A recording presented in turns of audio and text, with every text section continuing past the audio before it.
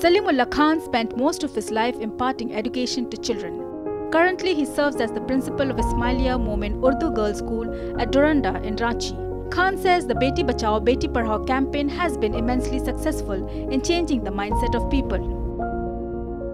School की छात्राओं को खूब खूब लाभ मिल रहा है जैसे पोशाक का लाभ हमारे स्कूल की छात्राएं उठा रही हैं एमडीएम का लाभ ले रही हैं बुक भी सरकार की तरफ़ से इन्हें मिल रही है और छात्रविधि भी, छात्रवृत्ति भी स्कॉलरशिप जिसको बोलते हैं, हमारी बच्चियों को, खासकर छात्राओं को मिल रहा है। इससे पता ही चलता है कि सरकारी योजना का लाभ हमारे यहाँ ज़्यादा से ज़्यादा उठाया जा रहा है छात्राओं के ज़रिए। Attitudes and mindset towards girls education are changing only because people feel the need of change and they taking charge of it effective implementation of schemes also play an important role Girls are also happy for they can now hope to see their dreams come true.